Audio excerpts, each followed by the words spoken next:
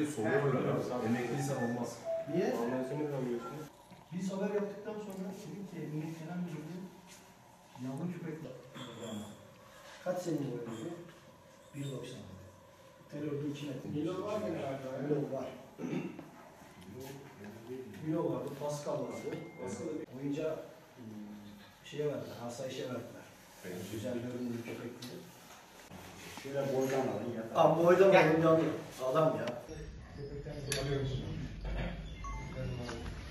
Kayıttan çıktığınızda söylerseniz geçeyim.